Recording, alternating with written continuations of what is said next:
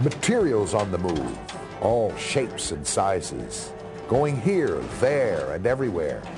Raw materials coming in, product components circulating from department to department, inventory being stored in the warehouse, finished product going out the door.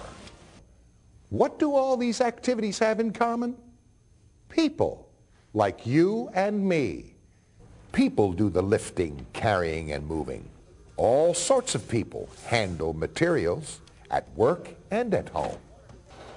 Material handling has its dangers, though.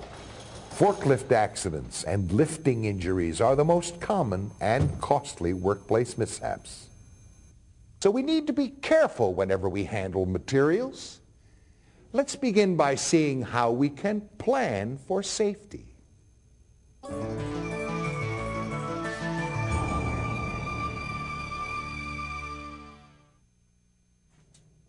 Anytime you need to move something, start by making a game plan.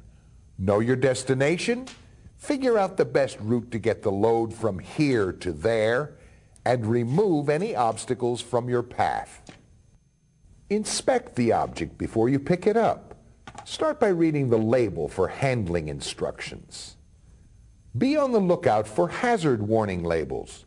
If the material is hazardous, you may need to take safety precautions such as wearing special personal protective equipment.